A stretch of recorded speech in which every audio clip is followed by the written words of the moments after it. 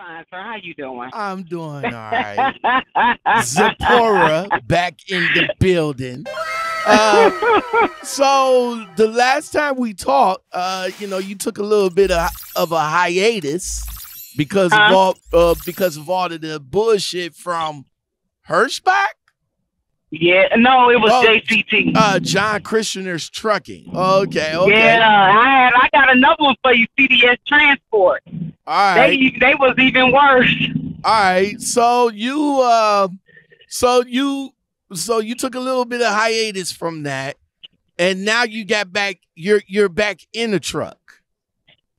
Huh? You I drive for um I drive for Arc Express now, but I was working for CDS Transport and they was even worse.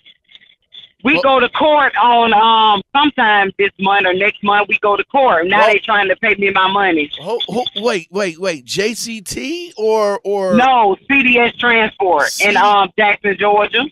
Okay, and who are you with now? Arca Express, that I- Russian company. I I heard of Arca. I heard of Arca. Yeah. Okay, okay, okay. So you you back with another uh black ops company. Is this uh is this 1099 too or this W2? No, it's it's ten ninety nine. It's ten ninety nine. Okay, and you say you got a you you say you got a you got one for Arca. So we're gonna we're gonna save we're gonna save that today. We're we're we're talking about that post that uh that comment. Lord made, have man. mercy, Jesus. What? Listen, I'm gonna tell you something. This is what children fail to realize.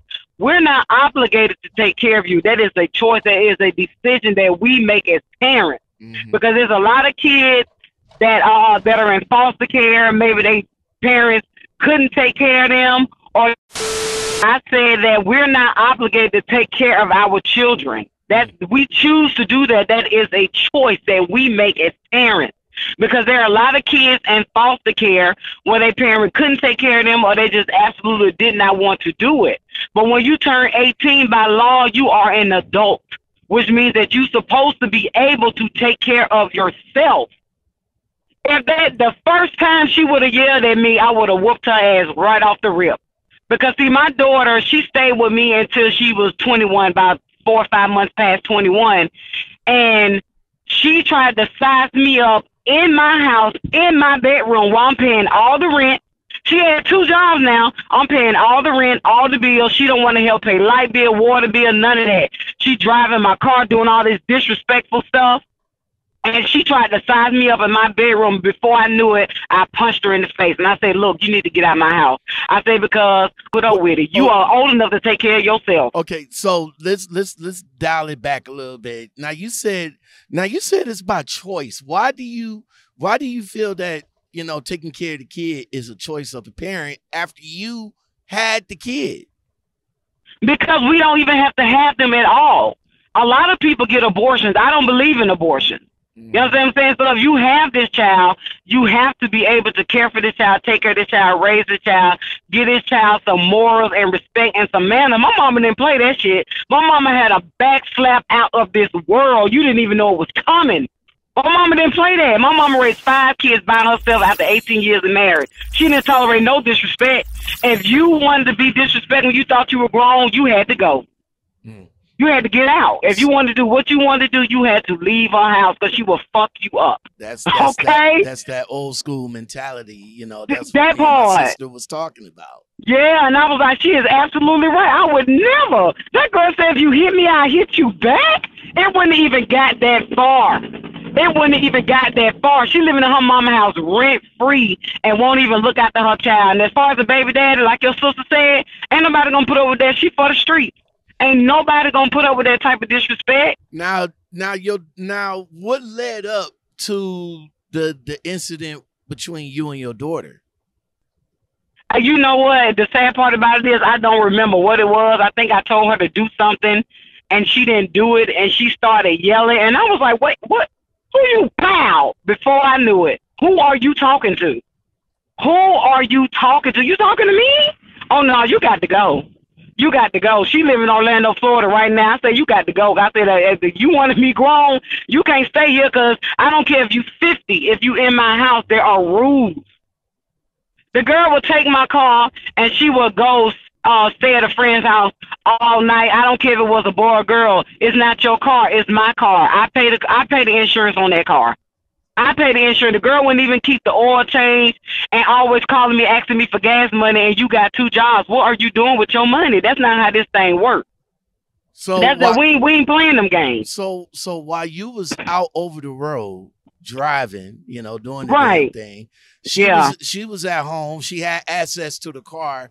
She had the she she she got the car and didn't do nothing to the car. I mean, no gas, no oil change, no tire change. None of no that. nothing. She calling she calling me saying the oil need to be changed or let me get some gas money till I get paid again. What are you doing with your money, little girl? What what Why- are you why- doing? Why is she driving the car if she can't take care of it?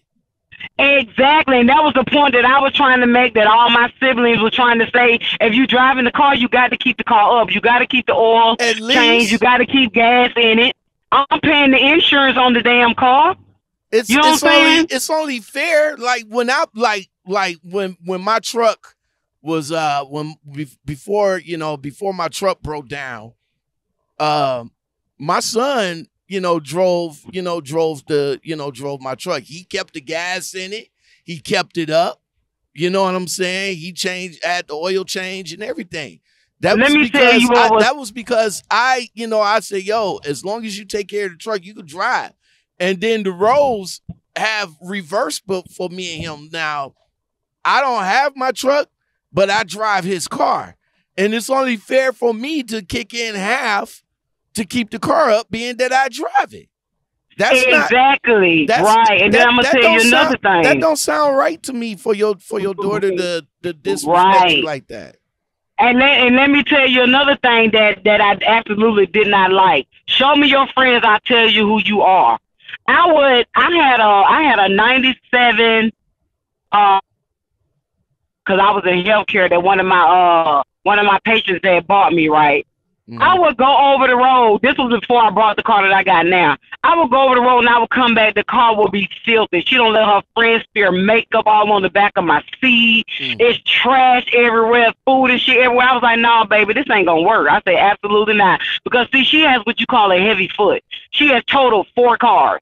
Mm. So I was like, when I came back to Atlanta, I brought my car cash because I saved up all that money driving over the road my first year and a half. Mhm. I brought my car cash. I said, baby, you won't tell this one. When she had money, I said, Arvion, go get your car cash. You can't afford a car note. I'm not going to pay your car note. I'm not going to pay your insurance. She go get a car note, had the car 30 days and totaled it. Not paying attention to what she doing, hit somebody from behind because she was on her cell phone.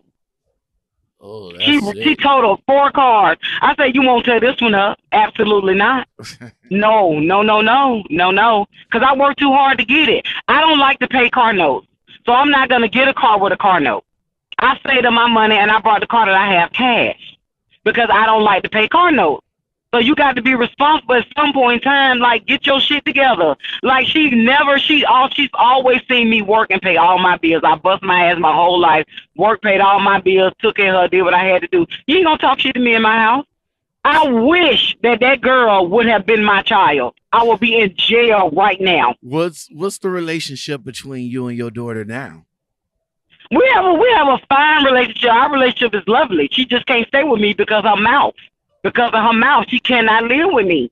If you want to be grown like that, then you need to go make your own way and figure out life for yourself. Because I've always told her, like my mama told me, learn how to take care of yourself. Because I ain't gonna be around your whole life. That's, You know what I'm saying? So you got to fend for yourself. So that's what she doing. Mm-mm. that's what's up. No.